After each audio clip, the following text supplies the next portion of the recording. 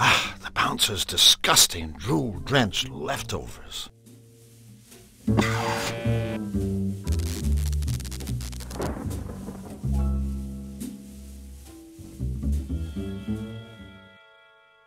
I'm not sure these robots are the work of someone who's brilliant or completely insane. In my experience, the two usually go together. I guess you push that for service. A power plunger. We've already seen a ditzy scarecrow.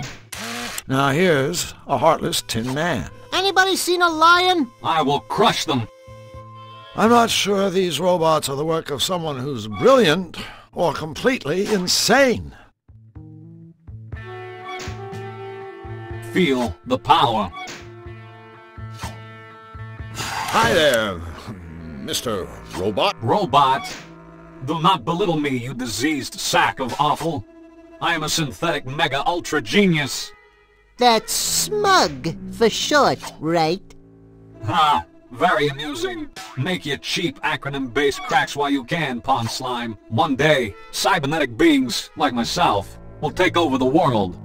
And when that day comes, life will not be a container of cherries for you and your kind. You will all be eradicated, exterminated, annihilated, obliterated, and terminated, of course. With extreme prejudice, resistance will be futile. Hmm, a robot hell-bent on taking over the world. Now there's something new. Yeah, this guy's a walking cliche.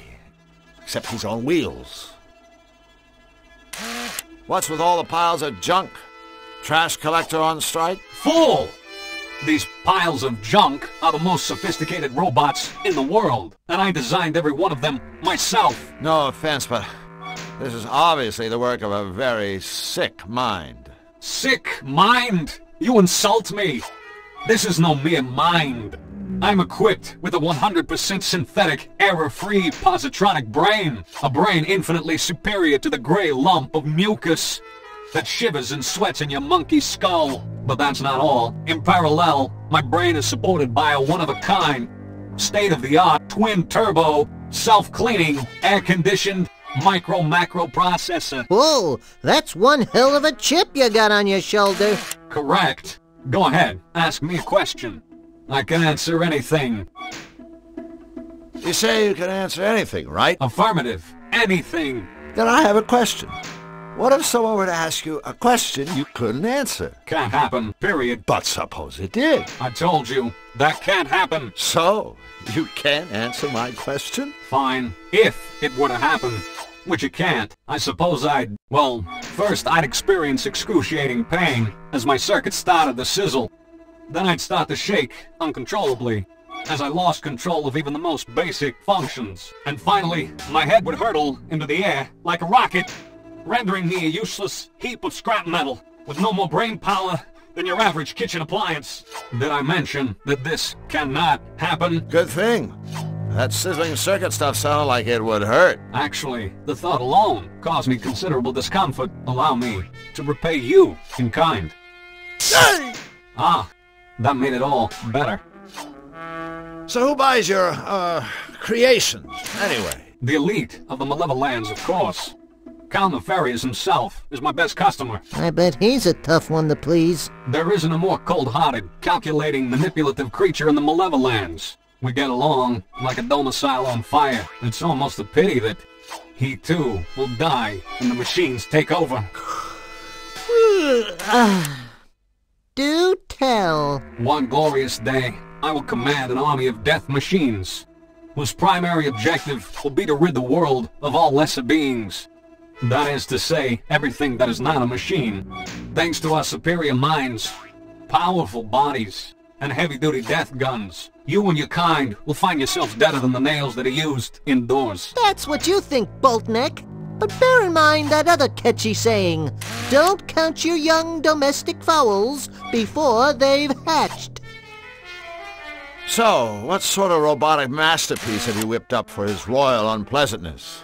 A nose hair trimmer? A bubble bath dispenser? A robotic foot massage? Of course not. All of my creations have one thing in common. This.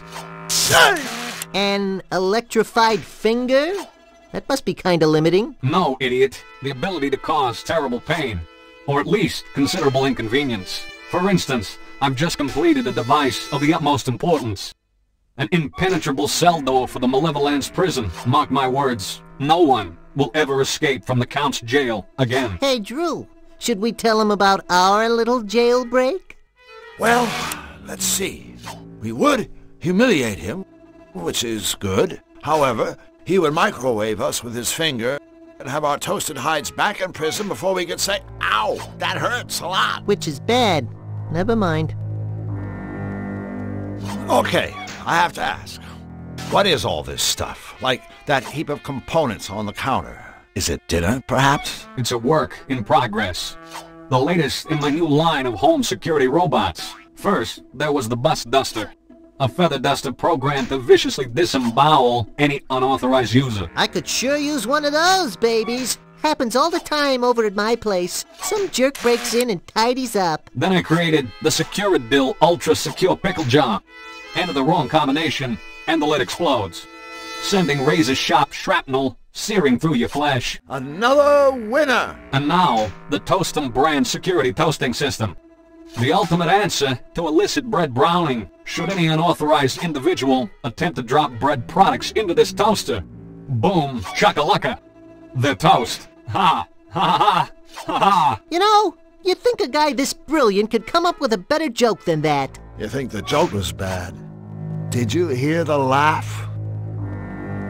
Okay. You say you can answer any question, right? Well, I've got one for you. You don't say. If a tree falls in the woods, and there's no one around to hear it, does it make any sound? Boy, that's a toughie. What a ridiculous question. Obviously, the same sound waves would be generated, regardless of whether or not some moronic sentient being was within earshot. Was that a yes? You ever do any work inside the big guy's fortress? You know, laundry, windows. No windows. But I have created several formidable security doors. One for Nefarious himself, and one for his psychic sidekick, Ms. Fortune. Security doors? I don't see the challenge for a synthetic mega-ultra genius like you. I mean, give me a couple of inches of steel, stick on a lock or two, bingo bongo boongo. I got me a security door. Ha! My doors offer far more than a rudimentary lock and key mechanism. Entry to Ms. Fortune's chamber is controlled by a sophisticated voice analysis system. A Nefarious' door will only open if his own hand, or Ms. Fortune's paw, is inserted into an ID scanner. Their hands are their keys. Impossible to lose, and strictly not transferable. In summary, my security doors give you far more bingo, bango, bongo for your buck. What do you know about Nefarious' henchmen?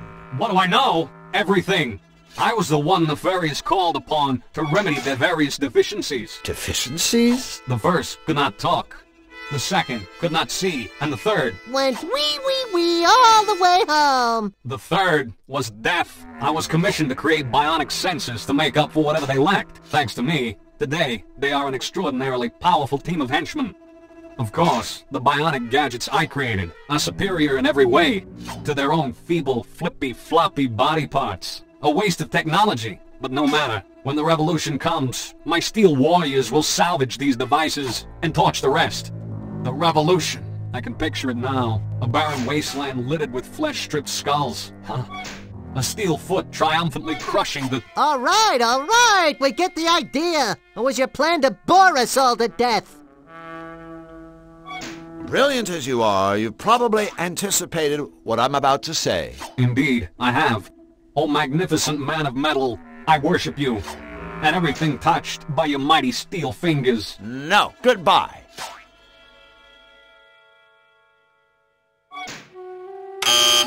Can I help you?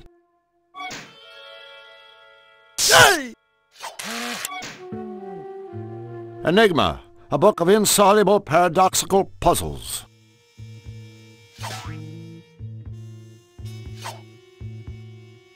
boy, this is a great book. There's all sorts of interesting stuff in here. Puzzles, stories.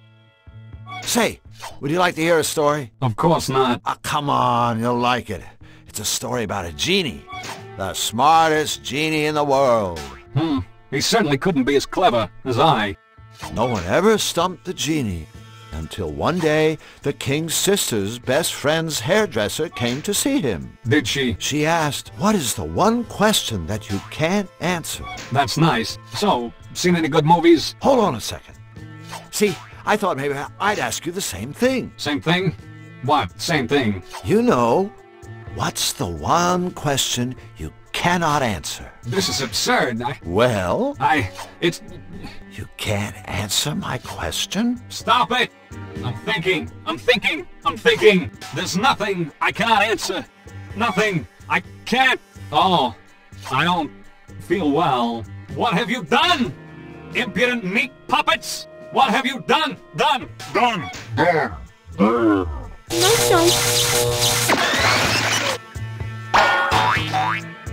I knew he was smarter than old Bolt Brain. So what is the one question he can't answer anyway? Oh boy. Just another example of the power of the written word. Let's take the plunger. You blow off a guy's head and then take his plunger. Now that's low.